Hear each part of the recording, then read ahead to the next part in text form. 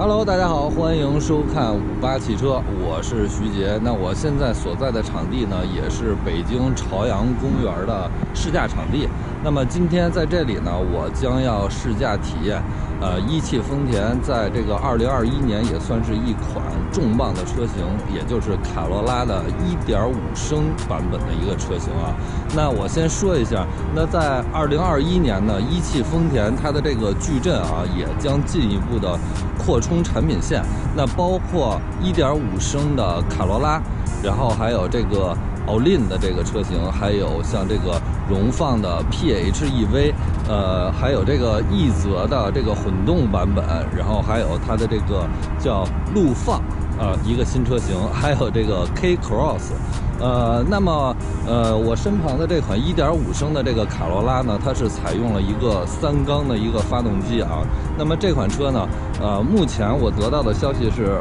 它可能会是在一月八号的时候进行正式的下线，并且在这个一月份内呢进行正式的一个上市啊。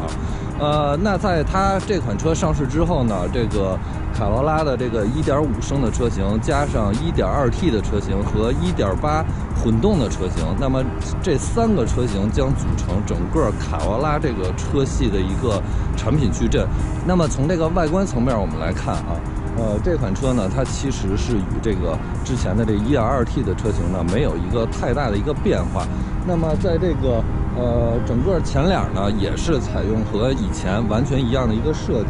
那么在这个轮圈的配备上呢，它通过这个不同的配置也会提供像这个十五寸和这个十六寸的这么一款车啊。那么今天我们体验的这款车啊，我个人认为可能是呃试装车型，或者是呃先期呃造出这么一批车型，然后让我们媒体来体验。那么。我们可以看一下，其实它的这个整体的这个尾部啊，它没有这个排量的标识。等到这个正式量产的时候进行销售，有可能会贴上一个排量的一个标识啊。呃，那另外一个信息点啊，最主要是要看到的就是它这个车门这块的呃出厂的一个标识。哎，我们可以看一下啊，这个产品的标识，那么上边也写着呢，尤其是这个发动机排量的这块啊。呃，一四九零，那么也能知道这款车呢，就是一款一点五升排量的一个车型。OK，那么接下来呢，我们再到车里来看一下。OK，那么。呃，可以看到啊，通过不同的这个配置，然后这个车呢，它也是提供了一个这种大屏。那么在之前的这个呃 1.2T 的车型里边呢，像这种大屏是在这个科技版里，所以我们估计这个1.5升自然吸气的这个排量的车型，呃，也是会有这种科技版的出现啊。同时，哎，在这个科技版的这个车里边，这块也有一个。液晶屏，那么在这个低配呢，它将是这种机械的圆形的这个仪表，同时方向盘也是这种多功能控制的。那么我们可以看出来啊，它推出这个1.5升车型的一个目的呢，其实就是为了完善整个呃卡罗拉的这个产品的一个车系。那么我预估它的这个产品的这个售价啊，应该是会低于这个 1.2T 的一个车型。呃，那么对于这个三缸车型呢，目前来说，之前像这个福特啊、别克啊，其实也是有推出过。那么其实像这个大众啊，它一直还是比较坚守这个四缸的这这个阵地。呃，那大家最担心的其实就是三缸车型的一个是它的这个动力表现啊，对吧？然后还有一个就是大家可能担心的，像它的这个。车辆的一个发动机的一个抖动，那么现在车辆呢也是，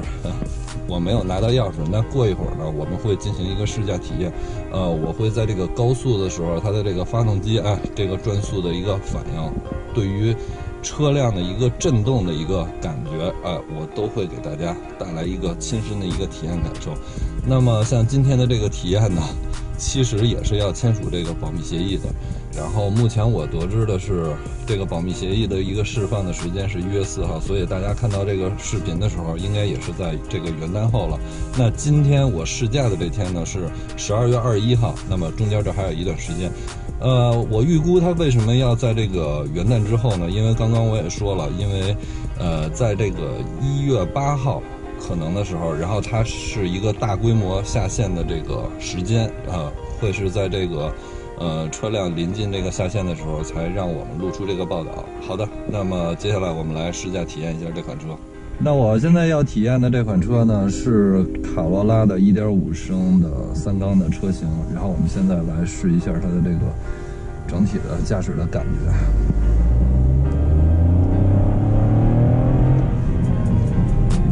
感觉整个的这个起步的这个阶段啊，还是能感觉到这个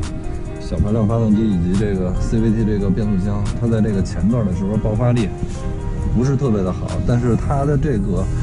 呃，整个的这个马力啊，其实是要比这个 1.2T 之前的这个四缸的车型马力还要大一些。那么这款车的这个马力达到了121马力。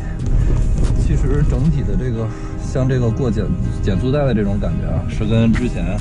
呃 1.2T 的都是一样的。TNGA 的这个架构啊，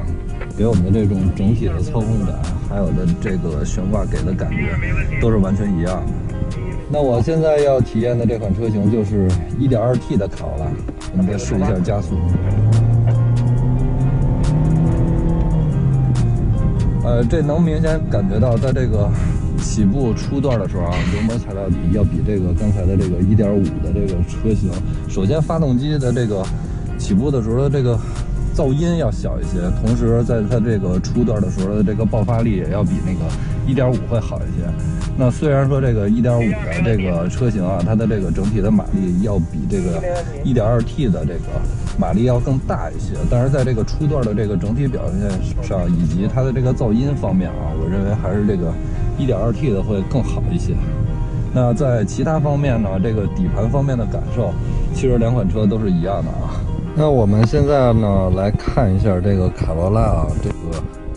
1.5升三缸发动机车内的震动一情况，因为发动机的那个表面的震动我们就不测了啊，因为毕竟这个车是用来开的，然后主要是坐在车里边的乘客的他的这个体感，以及像我们呃经常要握方向盘啊，整体的这个震动感。那么我们就拿这个方向盘为例啊，我们来看一下它的这个震动的这个系数啊，大家可以看到，基本是一个稳定的状况是0.3，嗯。那接下来呢，我们再来看一下那个 1.2T 四缸的卡罗拉，它是一个什么样的表现？现在都是怠速情况下啊，车的这个水温都已经达到了一个正常的状态。OK，那我们现在是来到了 1.2T 四缸车型啊，这个卡罗拉的上面，我们来看一下同样的这个位置，它的这个呃车内的这个震动是多少？它的这个震动要比刚才小一些啊。大概是零点二，但是微乎其微，可以说从这个数值上你可以看到差异，但是实际上体感是感觉不到任何变化的啊。那好的，今天我们这个一点五升三缸的这个卡罗拉就给大家体验完了，然后最后给大家做一个总结。那么如果是考虑担心噪音这方面呢，我觉得大可不必啊，因为我们。做这个专业的震动仪测试完之后呢，其实你会发现它只有零点一的这么一个数值上的差距，并且呢，如果你从实际体感上来讲的话，你肯定是感觉不出它的这一个差异性啊，也就是三缸四缸的这么一个震动，你是用身体是感觉不出来的。那在这个性能层面呢，我们通过这个急加速，其实你还是可以感觉到这个一点二 T 的这个车型啊，它在这个初步加速的时候呢。会更加的猛一些，同时呢，哎，它的这个噪音呢也相对会小一些。那它这个1.5升自吸的发动机啊，它肯定，呃，要想爆发出它这个高动力，肯定是要把这个转速拉得高一些。所以它的在起步、深踩油门的时候，它的这个噪音也会更大一些。同时呢，在它这个整体的这个加速反应。反程体感给我的感觉是没有 1.2T 的加速那么快，但是我们通过它的这个数据啊，可以看出来1.5升的这个发动机是要比这个 1.2T 的马力更大一些。那么最后要说一下啊，那丰田推出这个1.5升的这个卡罗拉，它其实呃除了降低售价的这么一个层面，然后让这个卡罗拉的这个车系啊更多一个排量、更多的一个车型的选择之外呢。其实我们都知道，现在哎有这个咖啡的这个法规嘛，那它推出这个三缸的车型，也是为了得到一个更好的一个积分的一个表现。呃，那未来呢，我觉得大家可能更关心的是它的一个价格的一个问题。我个人预估呢，它的这个1.5升的三缸的车型会比这个 1.2T 会更加的便宜一些。呃，所以呢，我觉得如果你要是看它的这个价格吧，如果是相差，我觉得稍微多一点的话，我觉得1.5升是一个不错的一个选择。呃，并且丰田卡罗拉一直的这么一个口碑，对不对？那大家可能担心这个车辆有一些问题，我觉得丰田早已经考虑到内，所以呢，呃，我觉得不会有太大的一个问题吧。那具体的一个表现，因为今天我们是很短暂的，呃，更多的时候我觉得可以拿到这个车，然后做一个长时间的一个试驾体验，可能会，呃，它的这个感受会更加深一些。那好，这期节目就到这里。